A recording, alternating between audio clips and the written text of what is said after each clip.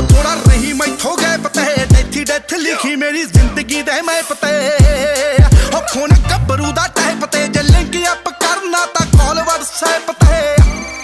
ਹੋ pick up ਦਾ